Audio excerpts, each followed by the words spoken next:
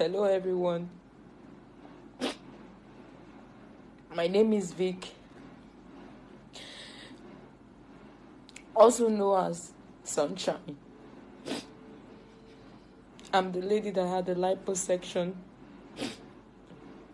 from MedContour, Dr. Anu. If I transfer to my breast, which I paid the sum of 1.650. Ever since then, I've been having so many complications, which I tried to reach her.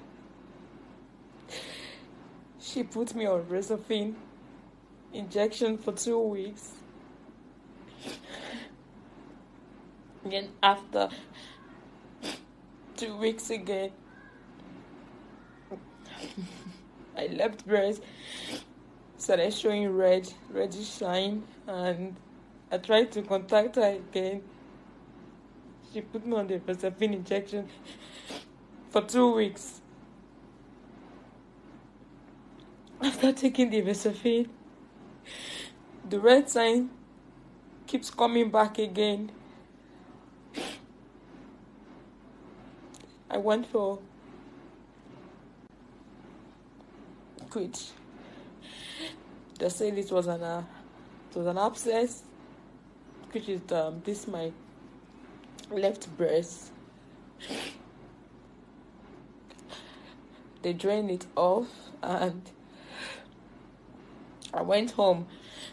I was thinking it was settled there.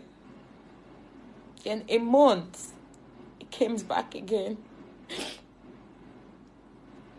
I went back to the same hospital. They drained it again.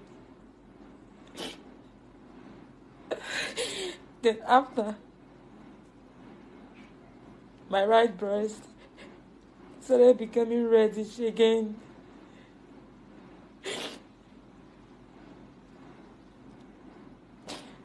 That is when I went to another hospital. And I had this scan there, which is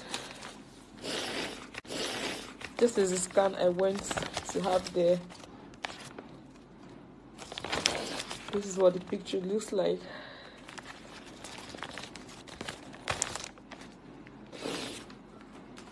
Uh, They say they have um, multiple abscess on my two breasts that I have to drain it again because I had no money and I've really spent all my money on this. I drained all of the left side breast, which is this one. Then I went home. A friend of mine directed me to LUTH Hospital, the one in Yaba. That was I've been in LUTH Hospital for for five days now, and I had another scan again. That was when they drained this one. And now they asked me to come back next week again to have another scan and to still drain the remaining one because as you can see this one there's nothing here anymore again and this one is still a bit hard